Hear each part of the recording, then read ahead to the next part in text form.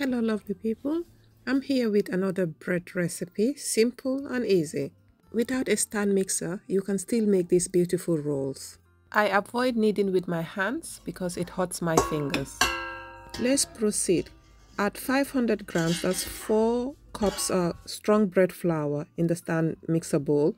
Add 12 ml instant yeast. Add 40 grams of milk powder, that's uh, 1 third uh, cup 1 quarter cup sugar that's 50 grams. Make sure your milk is warm not hot warm. Add uh, gradually. Let's begin mixing. As we are making soft dinner rolls it requires a rich dough. What i learned from the internet the crushier and chewier the bread the less fat in the dough. This is known as lean dough. The softer and the richer the bread the more fat in the dough. This is known as rich dough if you have been baking for some time and you're experimenting, you will definitely notice the differences. Add one egg, one teaspoon salt, and the remaining milk.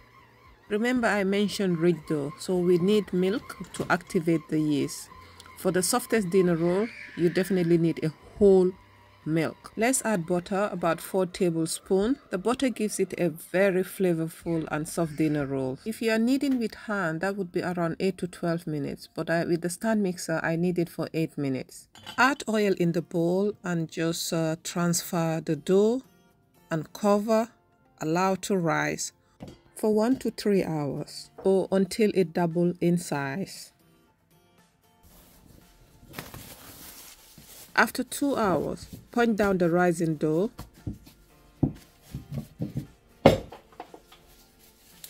Sprinkle flour if needed and uh, transfer the dough on the surface area.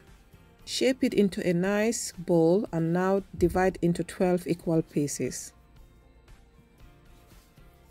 With this dough, you can shape uh, into many different ways, included twisted rolls, knotted rolls, round shape, any shape that you prefer. It doesn't need to be just the one uh, demonstrated in this video.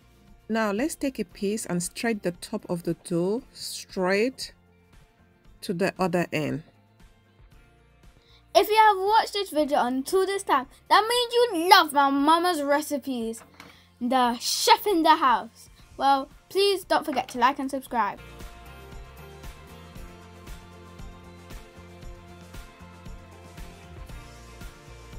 Transfer the shape rolls on a baking tray lined with parchment paper.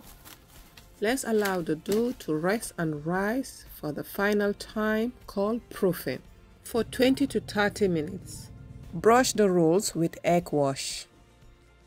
Beware, an overproof dough won't expand much during baking and neither will an underproof one. Bake on 190 degree for 20 to 25 minutes. Look at these beauties. They look yummy. Now they say the proof is in the pudding. Let's judge based on direct experience with it.